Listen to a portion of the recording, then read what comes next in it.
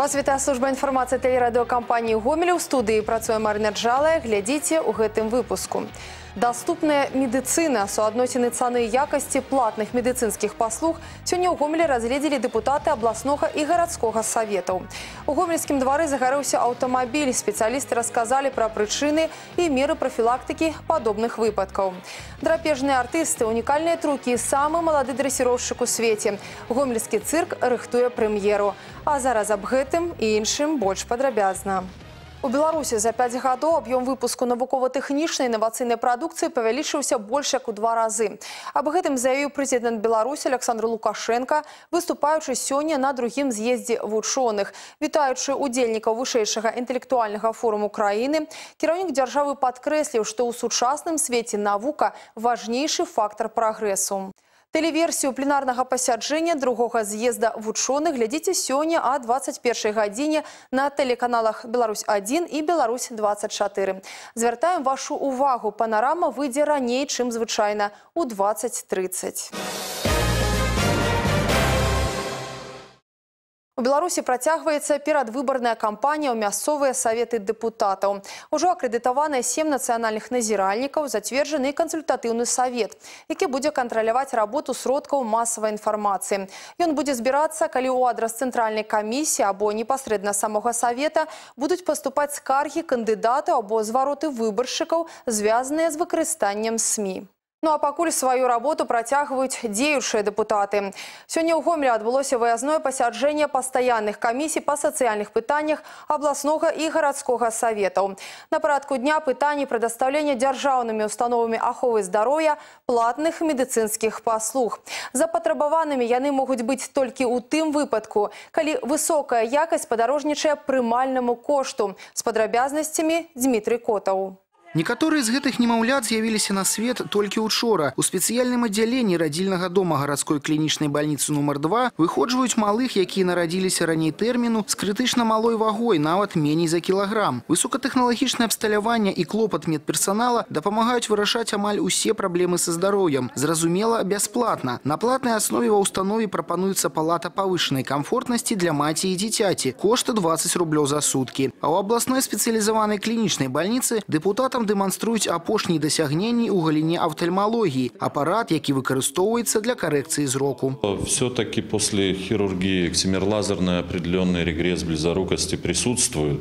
У всех в разной степени он выражен.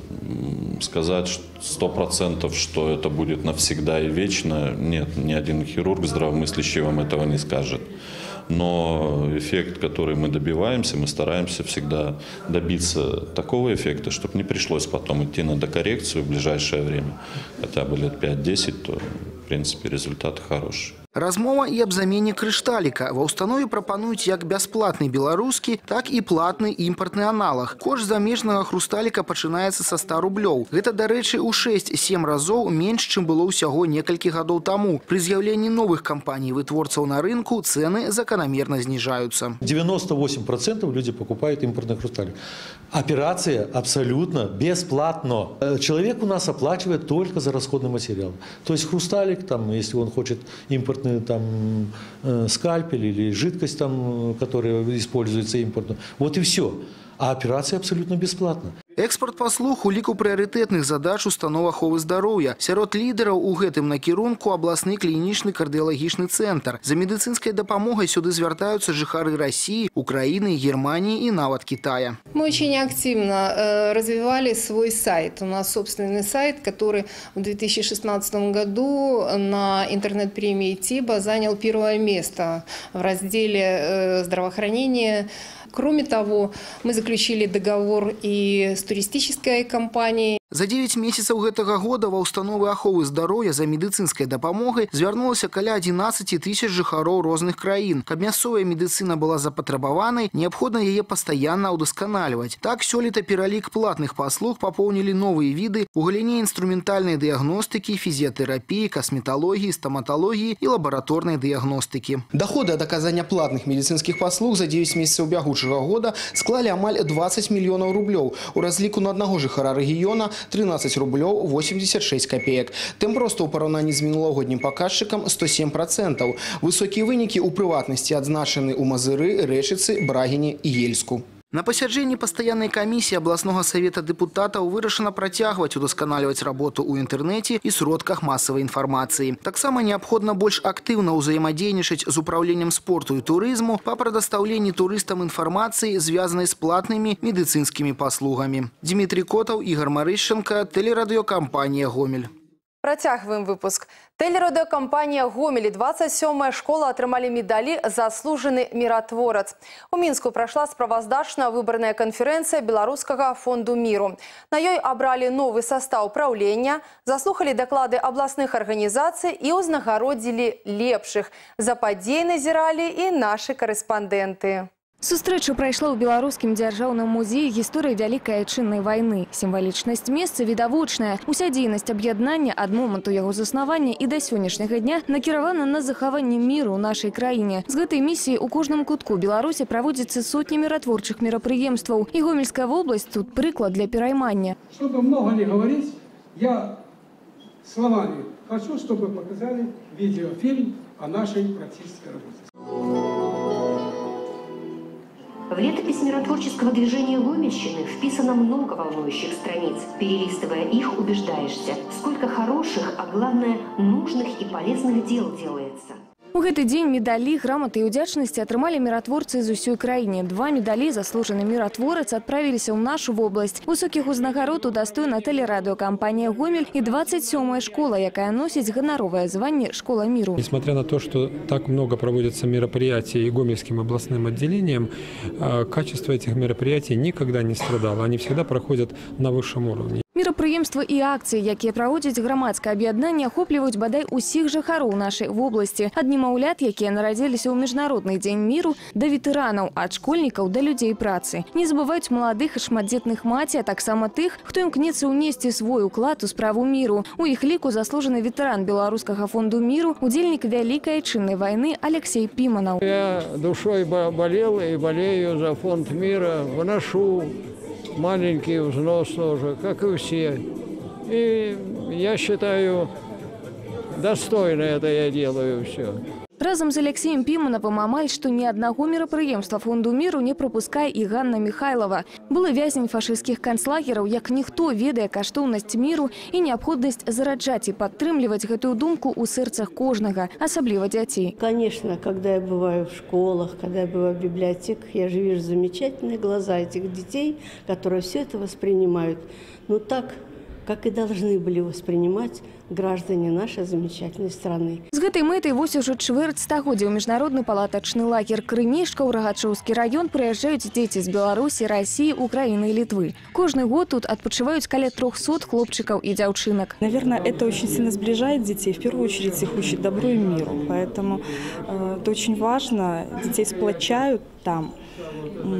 Наверное, это отличительная черта нашего района в работе Фонда мира. Напередодні новогоднего свята Фонд миру таксама рыхтуе кранальныя мерапрыемствы для тех, кто больше за все чакает суда. В этом году будет проводиться международная елки мира.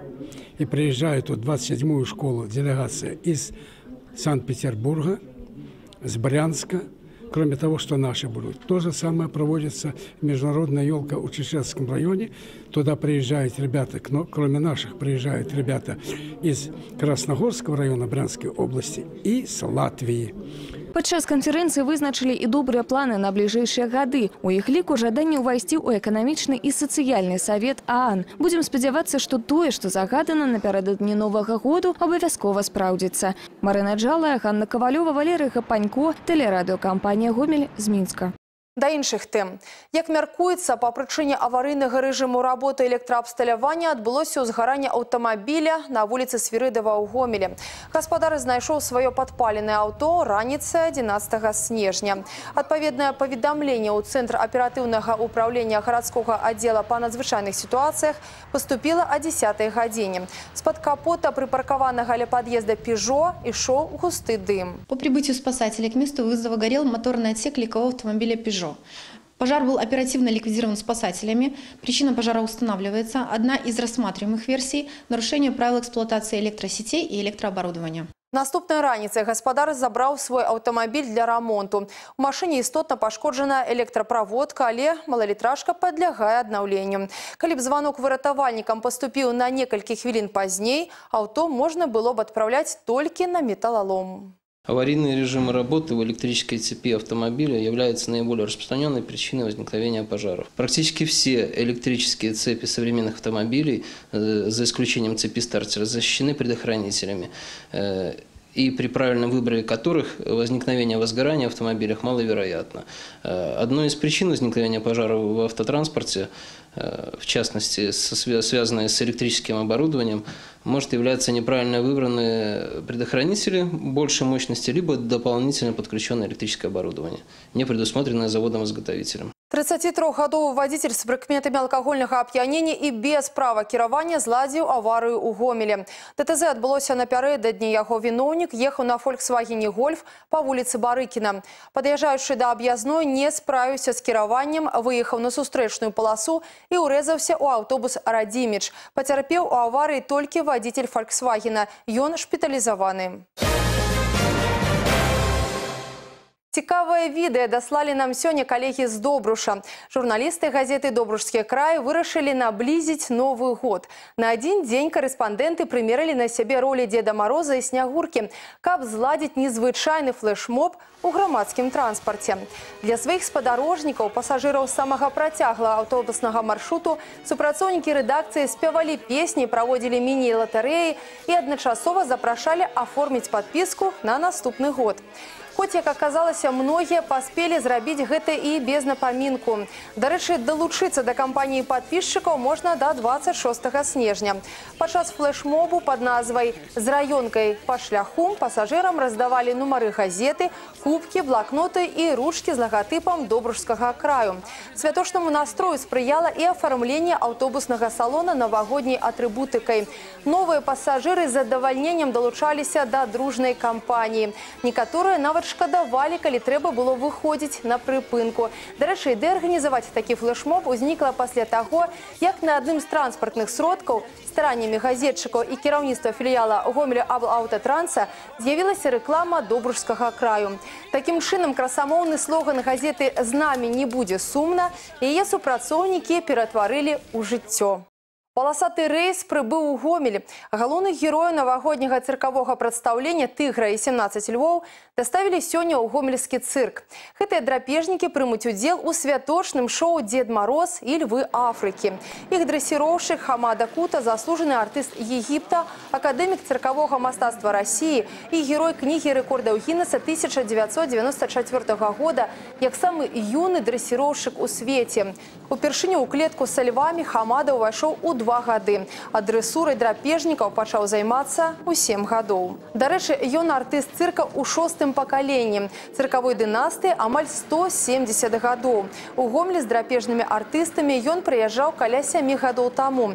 Вярнуўся з новымі рэгаліямі, вопытам, праграмай і шрамамі. За яго плячыма больш за 20 гадоў дрэсуры і 9 траўмаў галавы, рук і ног. Да першага выхаду артыста з жывёламі на гомельскую арэну застаецца тры дні.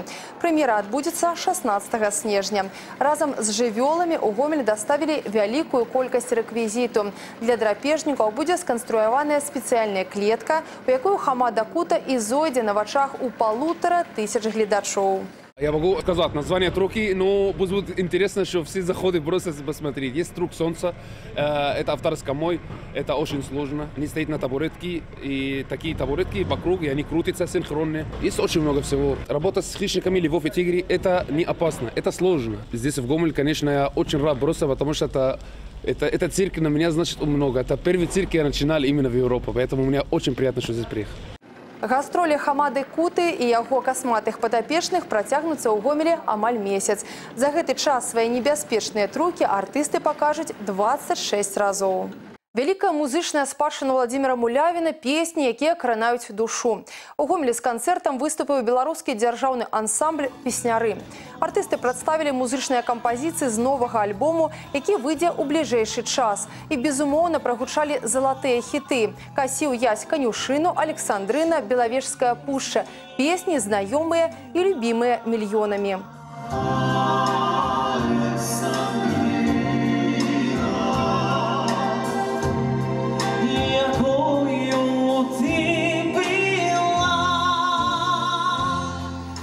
Гарманічнае спалучэнне фальклору і высокакласнага шматгалоснага выканання робіць творчасць песняроў жамчужынай сучаснай беларускай культуры.